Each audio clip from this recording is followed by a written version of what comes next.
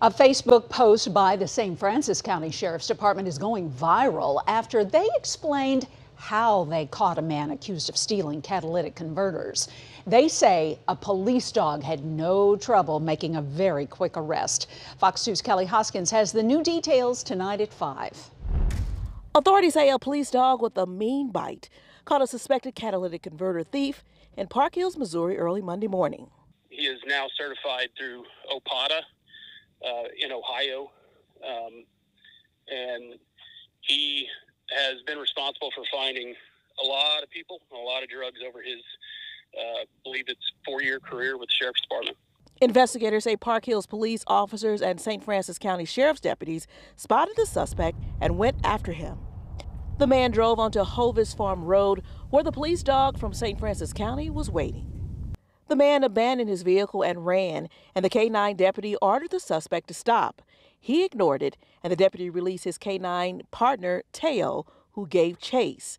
The suspect attempted to assault Teo and resisted arrest, and Teo, however, would not be beat. The deputy gave numerous loud commands to stop, um, or he would release the K9, which is, you know, standard for K9. And when the subject stopped or wouldn't stop, the deputy released his canine partner, uh, Teo, and continued to give commands. As the dog approached the subject, the subject began pushing Teo's head uh, to avoid being bit. Um, once you do that, the dog will apprehend by any means necessary, and um, the dog re- or the dog engaged on the midsection of the subject.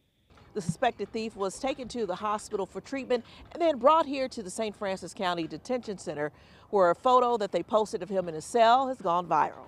We can't control where someone gets bit when they start resisting, and you know, eh, we are proud of the work that our dogs do at all times. It's Kelly Hoskins, Fox 2 News.